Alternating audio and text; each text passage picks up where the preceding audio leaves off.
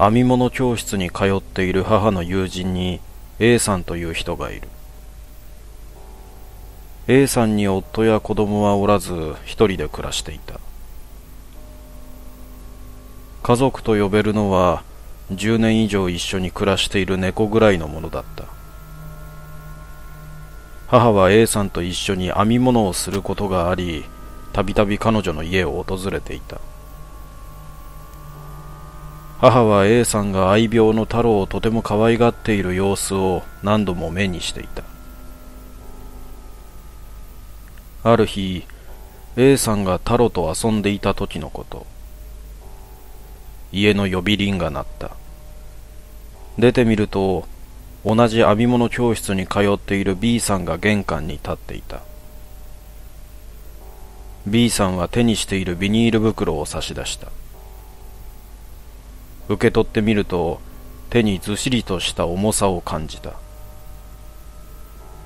これは何かと聞いても B さんは答えず家に上がり込んだ。編み物教室でも煙たがれている B さんは身勝手な人物でこうした横柄な態度をすることは日常茶飯事だった。お金にもうるさく趣味にはお金を使うもののもったいないからといってバッグさえ買わずいつもスーパーのビニール袋で代用していた。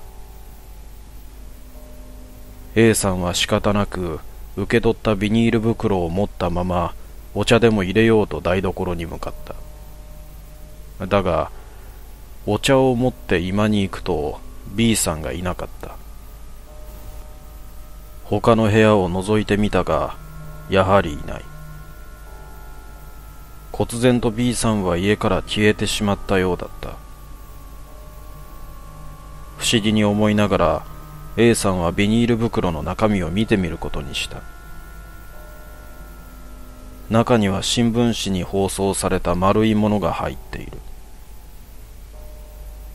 新聞紙を開けてみると中に入っていたのはタロだった。口元から血を流し丸くなって死んでいた。A さんはパニックになり取り乱した状態でうちの母に電話をかけてきた。話にはあまりにも辻褄が合わない部分が多く母は困惑するしかなかった。A さんの部屋は団地の5階にある。どうやったら一緒に遊んでいた猫を B さんが持ってくることなどできるのか。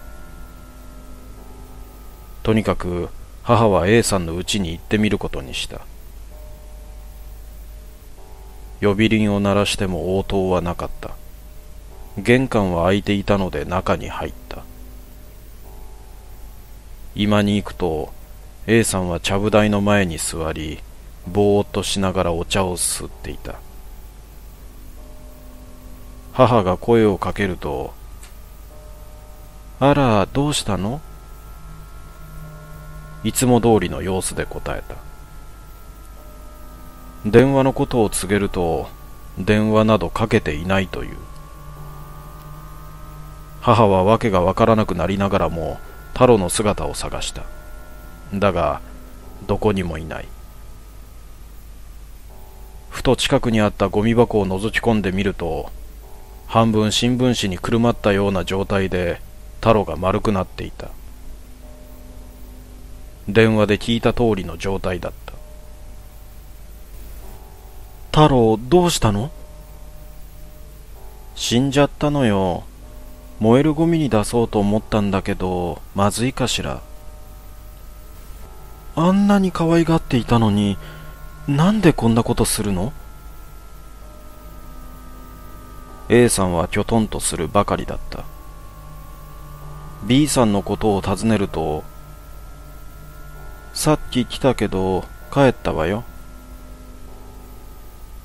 母は開いた口が塞がらなかった。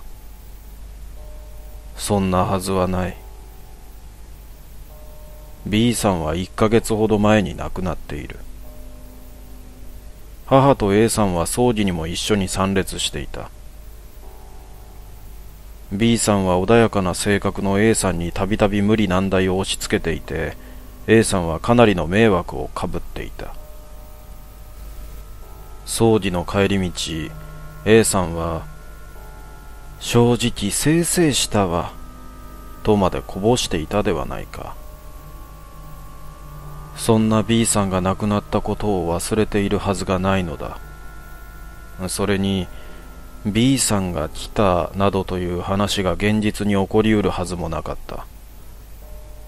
た。だが母が何度説明しても A さんは怪げな顔をするばかりで一向に要領を得ない。A さんは40代後半ボケるような年でもなかった。あまりにも話が噛み合わず母は空恐ろしい気分になってきた。事実を説明することを諦め母はその場を後にした。愛病が死んだことで一時的に頭が混乱しているんだろう。そう思うしかなかった。編み物教室の日教室に行くと A さんも来ていた。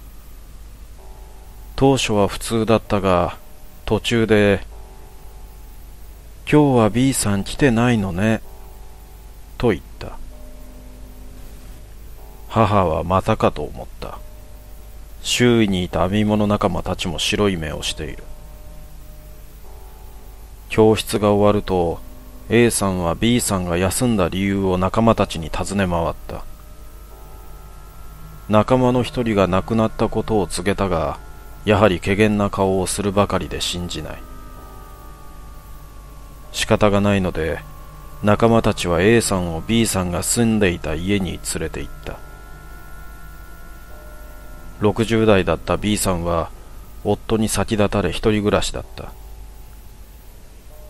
無人になっている家を見せると引っ越されたんでしょ？何なのよあんたたち。死んだなんていくらなんでも B さんに対して失礼よ。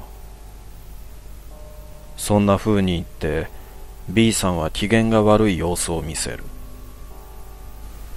仲間たちが葬儀にも行ったでしょと反論すると昨日だってうちに来たのよ。亡くなっているわけないじゃない。目をつり上げてとうとう怒り出してしまった。仲間たちも怖くなったようでその場は早々に解散した。A さんは居心地が悪くなったのか編み物教室に姿を見せなくなり母との交友も途絶えた。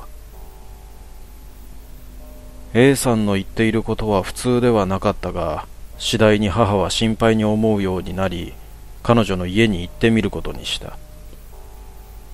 だが呼び鈴を鳴らしても応答はない。ドアノブをひねっても開かなかった。ポストを確認してみるとそこに書かれていた名前が消されていた。A さんの部屋の隣人に聞くと友人の家に同居することになったから部屋を出ていくと言ってましたけどと言われた。A さんは生まれてからずっとこの土地で暮らしてきた。付き合いが長いので母は大体の交友関係を把握していたが身を寄せる人物が思い浮かばない。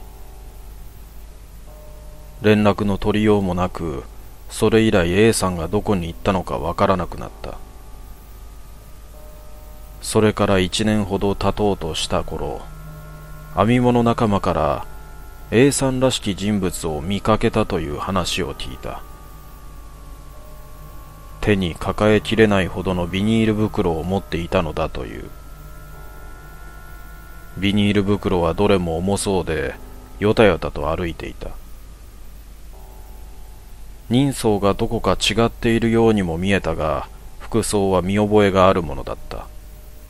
だが話しかけてみても首をひねられた。